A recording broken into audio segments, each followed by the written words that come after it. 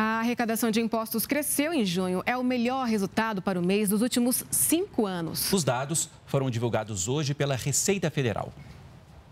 O total arrecadado pela Receita Federal superou 116 milhões de reais, um aumento de quase 8 milhões em relação a junho do ano passado. Ao todo, no primeiro semestre deste ano, a arrecadação da Receita Federal chegou a 726 milhões de reais, 5 milhões a mais do que no mesmo período de 2018. Segundo a Receita Federal, a greve dos caminhoneiros no ano passado desacelerou a economia e acabou influenciando na comparação entre entre os dois anos. Mas não foi só isso. Houve também aumento da produção industrial e da venda de bens e serviços. Considerando aí a arrecadação do mês de junho, a, a, arrecadação superior aí aos últimos cinco anos, desde 2014.